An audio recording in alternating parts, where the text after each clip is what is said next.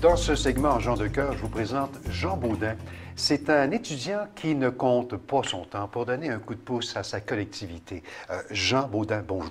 Salut. Euh, pour, et, et vous m'arrêtez si je me trompe, mais pour le Carrefour Jeunesse Emploi de la Salle, avec une consoeur, vous formez un duo euh, tout à fait particulier.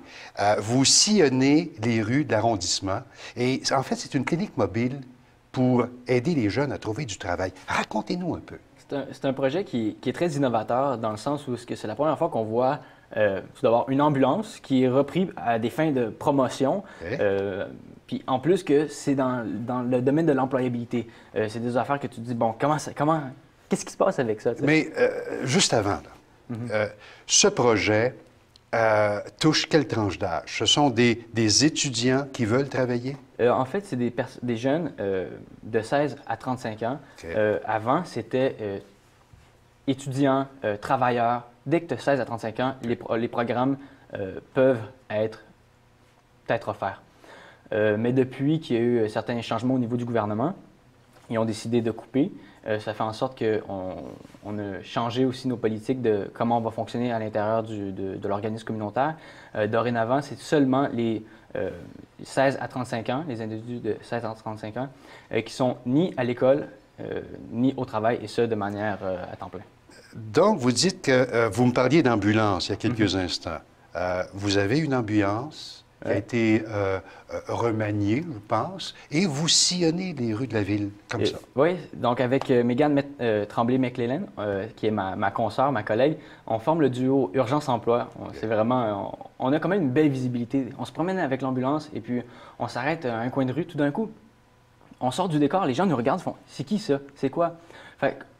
On, rentre avec eux en contact et c'est ça justement notre mission, c'est d'aller chercher ces gens-là, aller leur parler et aller les informer sur euh, les services qu'on offre euh, au CGE Destination Travail.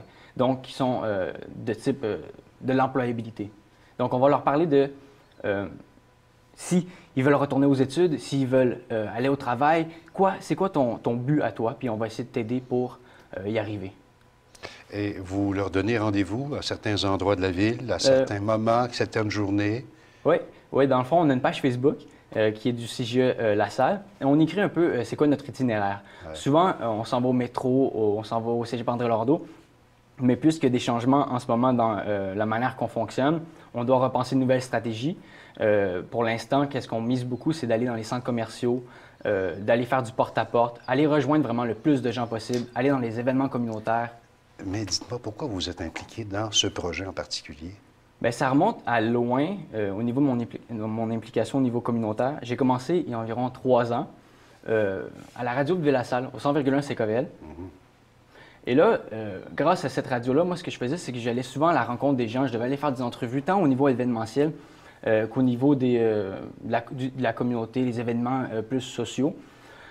Donc, je t'ai emmené à beaucoup rencontrer les personnes, euh, tant des individus euh, du public ou euh, qui sont derrière l'organisation d'événements. Et ce qui a fait en sorte que j'ai vraiment développé un sentiment d'attachement envers toute ma communauté, envers tous les autres organismes pairs à la radio, dont le CGE Destination Travail, qui m'ont repêché. Parce qu'en même temps, vous êtes aux études. là. Oui, oui, ça travaille fort aux études. Vous étudiez dans quel domaine? En cinéma.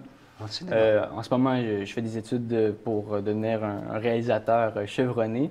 Euh, je travaille sur euh, mon film sur des vétérans qui se regroupent dans, une- sous la bannière du vétéran. Euh, un film qui risque d'être prometteur. On travaille fort en montage en ce moment. Ce qui veut dire que euh, vous devez gérer votre temps. Vous êtes un bel exemple de, comment dire, de conciliation études-travail, vous, là. là. Bien, je vous avoue que grâce à mon emploi, qui est comme. euh, qui réussit vraiment à.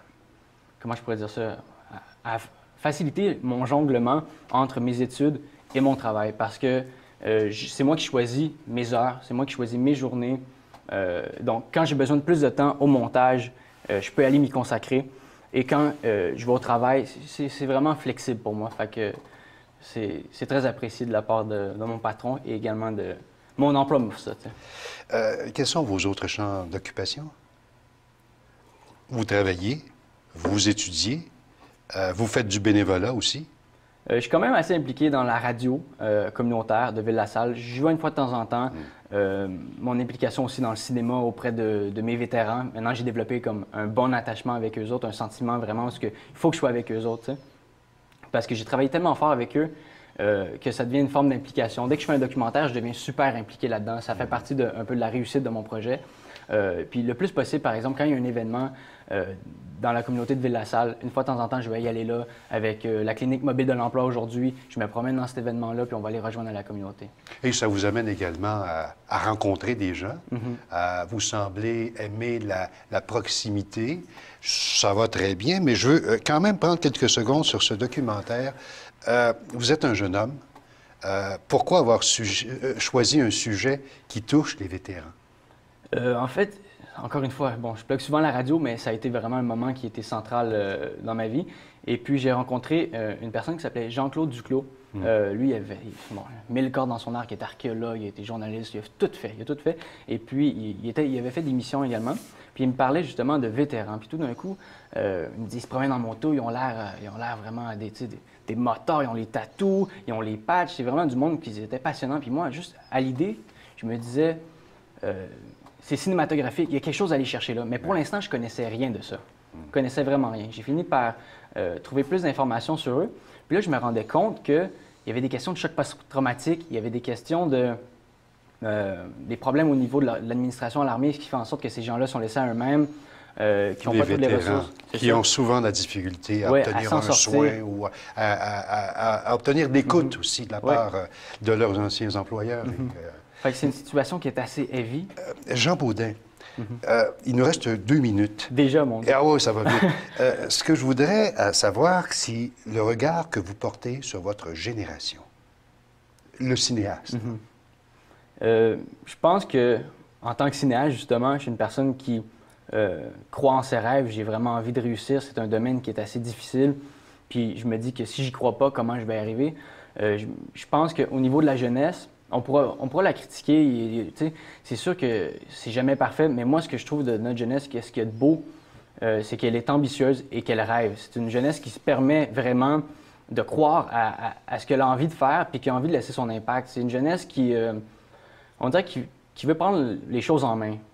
Moi, je me sens comme ça, puis je vois souvent des gens avec, qui sont dans mon, en- dans mon entourage euh, qui ont cette force intérieure de vouloir faire quelque chose et de, de croire en, en ce qui est euh, vraiment cher. Puis pour moi, euh, le cinéma, c'est ça. C'est une manière pour moi d'exprimer ce qui, ce qui est vraiment plus profond en moi, euh, de manière à explorer la vie sur tous ses aspects. Un jour, je peux faire un film sur quelqu'un qui change de sexe, un autre jour sur un vétéran. Tu sais, c'est super polyvalent. Moi, je suis passionné, fait que ça me permet de m'intéresser à, à tout.